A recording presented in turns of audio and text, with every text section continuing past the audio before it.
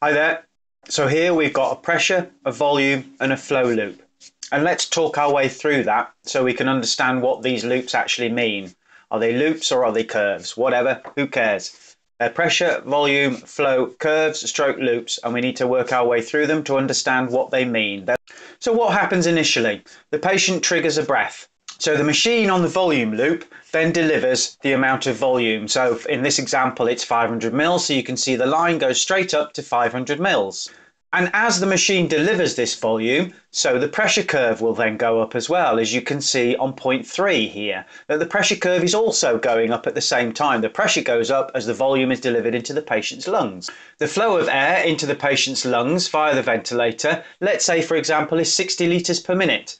So when the breath is initiated, the flow curve goes straight up and then as the gas is going in and it's achieved its 60 litres a minute in order to make that do so, it will stay at 60 litres per minute so it plateaus off as you can see here and that plateauing stays there until then there's the trigger for that breath to stop. And in our example with volume controlled ventilation, the breath will stop when the machine has delivered the volume that we've set. That's the trigger for the breath to stop.